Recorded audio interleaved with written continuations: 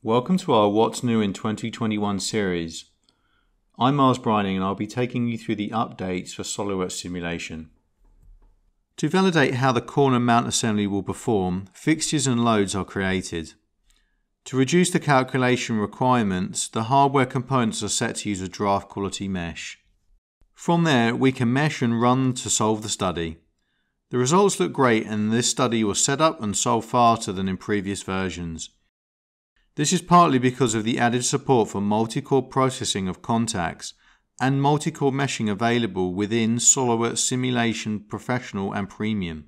But let's take a closer look and see how SOLIDWORKS Simulation 2021 has made the whole process easier. New properties for bonded and contact interactions specify gap and stabilization regions to automatically make your simulations more robust. Even for models with slightly imperfected geometries, for example, with this new property, clearances between the nut, the bolt, and the plate are automatically recognized and treated, saving you from inaccurate results and time spent troubleshooting the study. The results at interaction errors are more accurate with SOLIDWORKS 2021.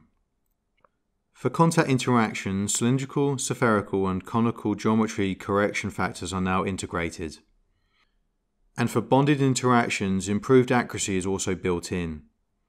This enables faster and more robust meshing when interacting components don't share common mesh nodes. To check the quality of the mesh, a new diagnostic tool is available. The poor elements are now automatically isolated, making them quick and easy to find. And the new mesh helper may be used to automate the mesh refinement if necessary. When it comes to time to solve the study, choosing the right solver can save a lot on calculation time. This is why the automatic solver selection algorithm has been optimized to better account for the many variables to give you the best run for your study and computer. Of course, the experienced users can still choose between the multiple solvers manually.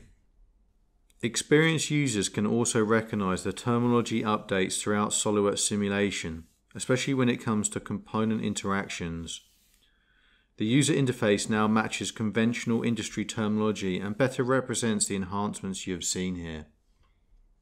In this release we have seen that contact calculation times are now improved, contact stabilization has been added, geometry corrections for contacts has been improved, the meshing is now more robust and efficient, there is new mesh diagnostic tools, automatic solver selections have been improved, and conventional contact terminology has been changed to meet industry standards.